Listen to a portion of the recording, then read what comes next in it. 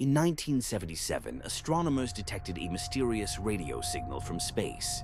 Dubbed the WOW signal, it lasted for just 72 seconds but left scientists baffled.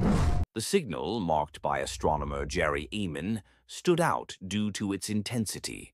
He wrote, WOW, next to the data, giving the signal its iconic name.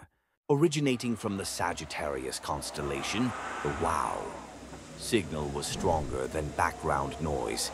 Its source remains unidentified to this day. Many theories emerged. Was it a signal from an alien civilization or a rare cosmic event? Despite numerous investigations, no conclusive answers have been found. The signal matched the frequency of hydrogen, the most common element in the universe. This led some to speculate it was a deliberate attempt at communication. Efforts to detect the signal again have failed. Scientists have scanned the same region multiple times, but the WOW signal remains a one-time phenomenon. The WOW signal continues to intrigue and inspire. It symbolizes the vast unknown of space and the possibility that we may not be alone in the universe. What do you think? Was the WOW signal a message from another world or a cosmic anomaly? The mystery endures, sparking curiosity and wonder.